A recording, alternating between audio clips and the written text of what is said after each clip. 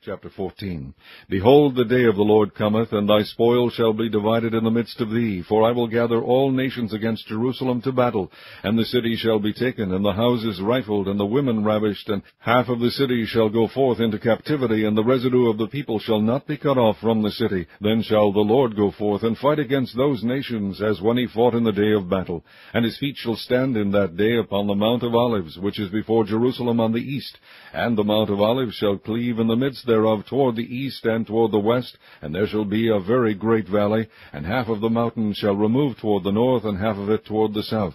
And ye shall flee to the valley of the mountains, for the valley of the mountains shall reach unto Azal. Yea, ye shall flee like as ye fled from before the earthquake in the days of Uzziah king of Judah. And the Lord my God shall come, and all the saints with thee. And it shall come to pass in that day that the light shall not be clear, nor dark, but it shall be one day which shall be known to the Lord, not day nor night, but it shall come to pass that at evening time it shall be light.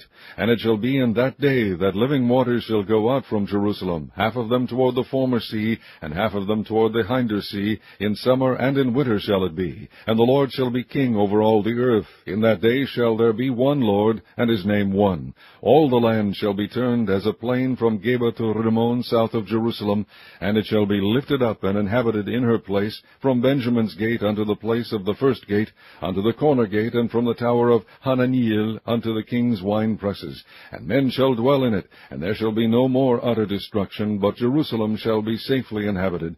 And this shall be the plague wherewith the Lord will smite all the people that have fought against Jerusalem. Their flesh shall consume away while they stand upon their feet, and their eyes shall consume away in their holes, and their tongues shall consume away in their mouth.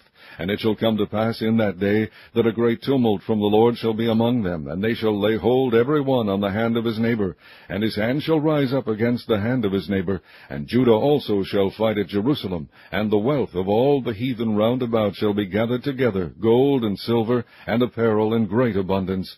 And so shall be the plague of the horse, of the mule, of the camel, and of the ass, and of all the beasts that shall be in these tents, as this plague. And it shall come to pass that every one that is left of all the nations which came against Jerusalem shall even go up from year to year to worship the King, the Lord of hosts, and to keep the feast of tabernacles.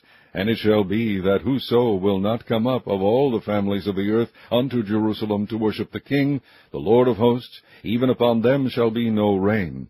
And if the family of Egypt go not up, and come not, that have no rain, there shall be the plague wherewith the Lord will smite the heathen that come not up to keep the feast of tabernacles.